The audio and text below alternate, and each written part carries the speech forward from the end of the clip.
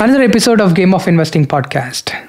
1000x or trillion dollar opportunities are rare, but they do exist. Now, I'm going to talk about a company that scripted success story in the world of technology, especially cloud and hyperscalers. And you might have guessed right. Yes, I'm going to talk about Amazon AWS that had scripted the success story with their AWS cloud and hyperscaler business. In year 2006, they first released AWS services to the public and they were garnering around $100 million revenue in 2006. Now, four years later in 2010, if I had donned my investor hat and I'd looked at AWS revenues, it was closely close to 500 million dollars, which means it had the revenue from AWS had scaled up almost 5x already in 4 years time frame. I would have not invested because I would have thought it's already a 4x or 5x and how much more. Now, maybe I would have invested it still in 2010, but definitely not in 2014 when it was already $10 billion. So, a 20x increase. Now, I completely missed the AWS opportunity to invest in because. Uh, you know, in 2015 16, we were like thinking it's already big, it's already big, and we kept missing on that. And trust me, AWS in 2024 has a revenue run rate of $100 billion. That's a 1000x increase from 2006, 18 years back. So we completely, many of the people completely missed the AWS opportunity, a cloud opportunity specifically with AWS. Now I could have invested in many other cloud companies and benefited, but honestly, this was a tough one to crack. Now, here is another opportunity which is 1000x potential and a trillion dollar opportunity, which I'm going to talk about deep dive in today's episode because as we all know, artificial intelligence is going through that growth curve and it is slowly climbing the wall of worry through the bull market. And there are a lot of capex and a lot of hype around AI, but then there is a lot of reality that is happening in the world of artificial intelligence. Now, I'm going to talk about how Amazon AWS, that is Amazon AI, not AWS, Amazon AI is poised to become another trillion dollar company. And what are the reasons I think Amazon AI as a company can stand out as a standalone company that can have potentially 28 to 30 billion dollar revenue in the next 3 to 4 years? What are those factors? What makes Amazon stand out? Now, here is one important thing we need to understand there could be many players in the world of AI right there is large language model creators like the microsoft openai or facebook llama or mistral ai or hugging face or you know Anthropic, Claude, there are so many large language models that's getting created. It all started with the advent from OpenAI, with the advent of you know the Chat GPT a couple of years back. Now, if you see the large language models are becoming you know just commoditized. There are so many companies every company is launching their own large language models. Many will collapse many will succeed. That doesn't matter for us. What i'm going to talk about is even the semiconductor industry might benefit immensely from the ai boom. I'm not denying that fact. I'm not negating that opportunity at all. But here is another parallel opportunity which is out there along with the semiconductors that is amazon ai and why do i think so? It's because you see a wide scale adoption of artificial intelligence is the only thing that can generate revenue for these companies and generate return on their invested capital towards AI because the amount of capex that Amazon, Facebook, Nvidia, Tesla are all making towards AI is in huge humongous amount. It's like almost like 30 billion dollars 40 billion dollars. The capex is so heavy right? Every big Magnificent Seven or the FANG companies are investing big time into AI. So starting with $1 billion, $100 million, all the way up to 50, 60 billion dollars, even 100 billion dollars from Meta, these capex needs to get a return on invested capital. Otherwise, shareholders will not, activist investors will not let these companies keep investing like this. Without seeing a return, without seeing a revenue flow, these companies are not going to continue their capex. So, how is the revenue flow going to come? It is going to come through wide scale adoption. And if you notice AWS story, AWS became a behemoth. It became a trillion dollar opportunity, trillion dollar success story because of global enterprise wide scale adoption. Across the globe, all the enterprises, most of the enterprises moved their platforms, workloads into cloud, whether it is AWS or Azure or Google or Alibaba, it doesn't matter. But end of the day, a wide scale enterprise adoption. What do you mean by enterprise adoption? All those companies out there that are developing applications, that's running applications, that's serving customers, the banks, the the industrials, the, the healthcare sector, all of those companies out there has to start integrating these large language models and utilize these models or generative AI, whether it is through the chats, whether it is through the agents, whether it is through development of applications or deployment of workloads, whatever that is. The wide scale adoption across enterprises is the only thing that can help get or garner revenue return on invested capital for these companies and who's the best placed out there to generate immense amount of return on invested capital that they're putting into ai according to me it's amazon ai to understand that we need to first understand to understand that we first really need to figure out how much revenue does amazon makes from ai specific business. What is the scalability factor right? Estimated projected growth. So in 2023 amazon's ai revenue was 8 billion dollars it's already started it garnered 8 billion dollars from just the ai part of the business. The end consumers like the adidas the toyotas the new york stock exchanges have already started using and consuming generative ai capabilities of amazon now, the next 2024, it is expected to cross $18 billion. Look at the jump 8 billion to 18 billion. That's more than 100%. The next year, 2025, it's projected to be $27 billion. The revenue just from Amazon AI specific business. In 2026, it could cross $35 billion. It is just following the path that AWS cloud business followed right? Now we need to understand why amazon stands out from a point of technology and platform so that it has its competitive advantage which is slowly and silently that amazon is building on. What are those building blocks? The first one is amazon bedrock ai the second one is amazon q. The third one is anthropic investments.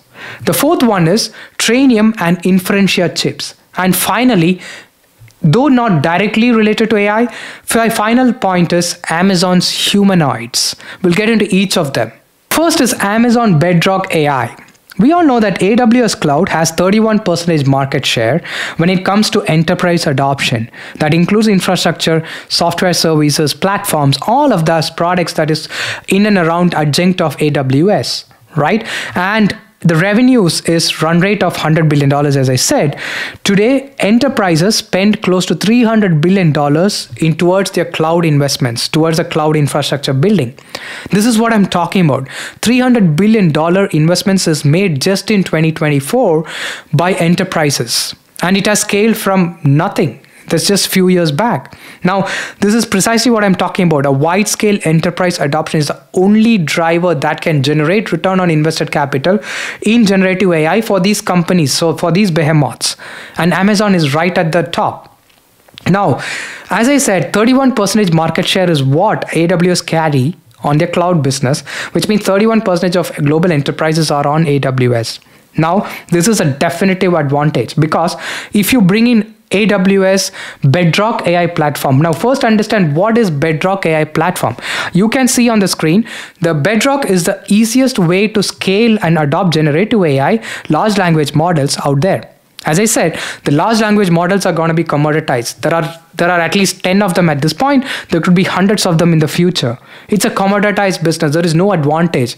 So what Amazon did brilliantly is they created a platform that can help enterprises adopt generative AI, you know, irrespective of whatever the large language model is it's it's not it's indifferent to any large language model. It is not really dependent on a large language model. Any enterprise can that is existing on aws Claude can leverage bedrock ai platform and scale their enterprises applications to adopt the large language models whether it is llama whether it is gemini whether it is you know anthropic cloud whichever you talk about they are able to integrate easily seamlessly. That's the beauty of such a platform which is not existing with any of the other players out there now well tomorrow microsoft can come up with such a platform obviously they have azure and they have a 25% market share in the cloud business no but Still, AWS or Amazon is a first mover in the Bedrock AI platform, just like they were the first mover in AWS. The second important thing is Amazon Q. Now, Amazon Q was a recently launched platform which is primarily it's, it's equivalent to the Microsoft Copilot. Now, Microsoft was a you know was first mover in terms of launching a chat or an agent that can help enterprises automate many of their customer servicing and code generation and all of that. Now, while Copilot exists, Amazon was immediately to launch Amazon Q. Now, Amazon Q has multiple functionalities and use cases it has got amazon q business that can cater to the you know it is it can provide it can be an assist, assistant to many of these uh, you know queries and real-time customer servicing for the businesses. Then there is amazon q developer which helps you know the automatic code generation and the DevOps to great extent. Then there is Amazon QuickSight that is more into the business intelligence part than the reporting part. Then there is Amazon Connect and AWS supply chain that can track and help with the supply chain management. So Amazon Q is going to be having a brilliant a myriad of use cases that can fit into and especially in the customer relationship, supply chain, customer servicing, call centers, agents, operations, all of those factors Amazon can Q can fit in. So while Bedrock can help integrate large language models and generative AI adoption, Amazon Q can fit into the use cases seamlessly. So that's the second part. AI chips. Amazon is not lagging there as well. They have their own custom made indigenous chips called Trainium and Inferentia, uh, both of those chips, latest models and versions are continuously getting upgraded. The latest Inferentia chips is expected to have 10x lower latency and 4x more throughput because high processing is a given when it comes to AI and to scale. Now, Trainium and Inferentia are custom made chips that can be utilized by enterprises. They can leverage those chips to run on AWS cloud or any cloud for that matter. The agnostic of the large language models as well to do the training and to benefit from the inferencing. As you know, generative AI has two components, right? The training. First, you have to train the models and then reap the benefits because the inference part is more complex and requires more processing and less latency. So Inference, Inferentia and Trainium is expected to grow at a compounded annual growth rate of 50 percentage plus in the next three to five years that is in terms of revenue and adoption. And it's expected to be roughly 10 to 15 percentage of generative ai revenue for amazon.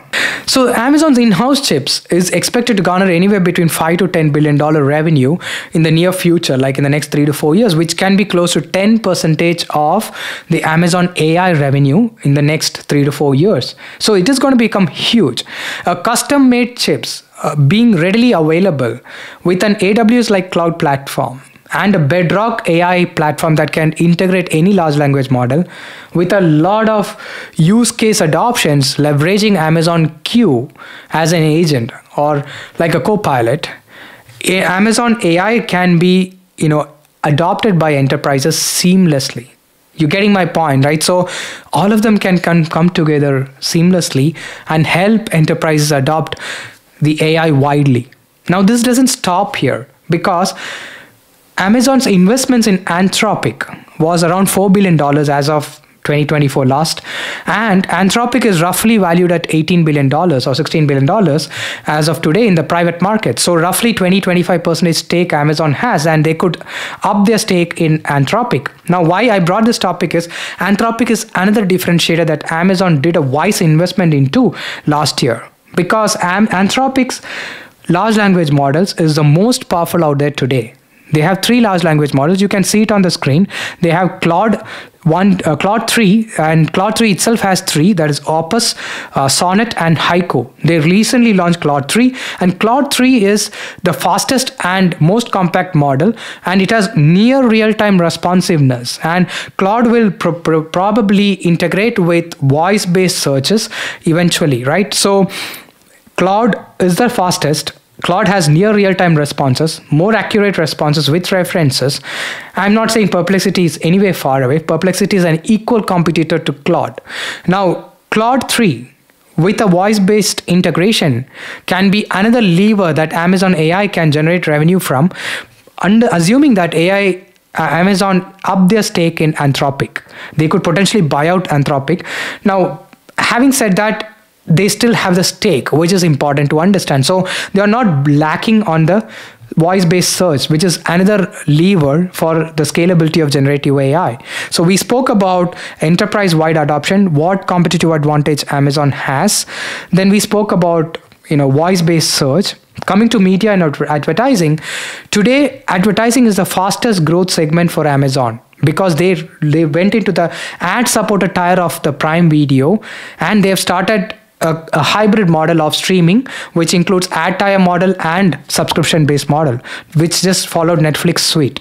Now prime has a scale advantage and amazon e-commerce also is leveraging advertising business. So advertising is a big segment of amazon's business. Amazon has a media presence.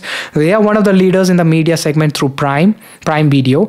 And they have advertising business. So the third leg which is the media and advertising space adoption of generative ai and scaling and passing the benefit back to the users whether it is consumers of e-commerce merchants of e-commerce right? Merchants or suppliers who are supplying to e-commerce they're all going to benefit with the generative AI adoption.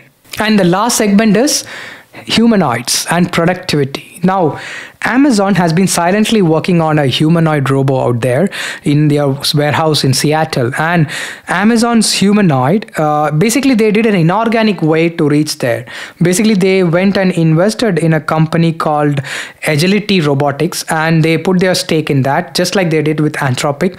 And they are uh, benefiting from the humanoids that Agility Robotics are developing because the latest one out there is called Digit. You know, it is a five foot nine humanoid that is already being deployed in Amazon warehouses to cater to the needs, operational needs like packaging, you know, shelving and all of that, shelving and all of that. And, you know, Amazon humanoids are going to be deployed roughly around to 10,000 humanoids are going to be deployed in their warehouses to improve productivity and to scale uh, e-commerce beyond this. So uh, the expected rate cost for a humanoid is roughly $3 per hour as against much five six times more or four times more for uh, human labor out there. I'm not saying they're going to replace human labors completely, but it is definitely going to enhance the productivity because humanoids can work 24/7. There is no time limit.